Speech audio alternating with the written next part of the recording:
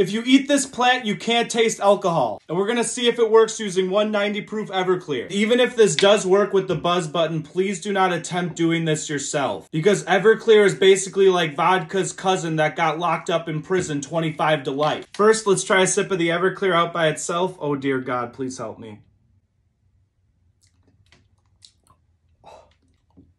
It tastes like I'm drinking battery acid. Now that that pain's over, we're gonna take a bite of our buzz button and see if we can't taste the Everclear after.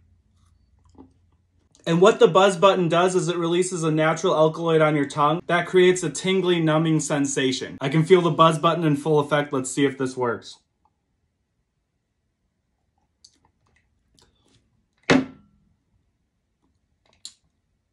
No. There's no sting. There's no sting, there's no bitterness. I can't taste it at all. And please, for the love of everyone, do not send this to your degenerate friends.